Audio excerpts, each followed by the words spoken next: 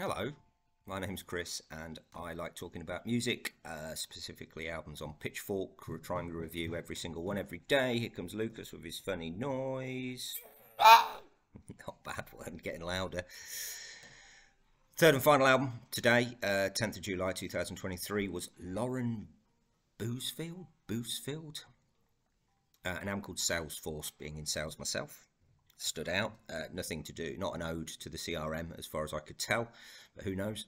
Um, no, nothing about her. Sorry. Um, 33 minutes, so I know I wasn't into too much of a commitment, which is always nice. Very noisy, very noisy, um, very dramatic sort of music where you know everything's been thrown at it. You know, every every single thing, every instrument that's in that studio was used to make some noise and there's nothing wrong with a bit of noise. Um, track two, especially, is a hell of a noise. Um, it's sort of hardcore metal, really, but not with too much guitar. You know, there are part of it that, that are proper. Oh, oh, oh, oh.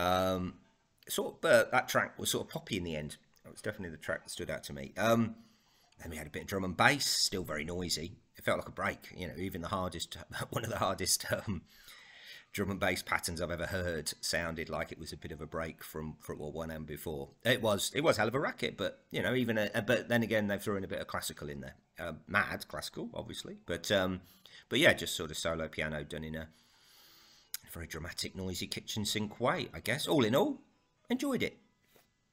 But not going to listen to it again because it was just too noisy. I had the kid in the background and I had to turn it down a bit. Um, not the sort of thing you can play in front of the family. You have to be a fan, I think. Um, uh, the second track stood out. Sorry, I didn't write the name down. Um, I'm going to give it a 7.5. I think Pitchfork gave it a 6.8. Thanks.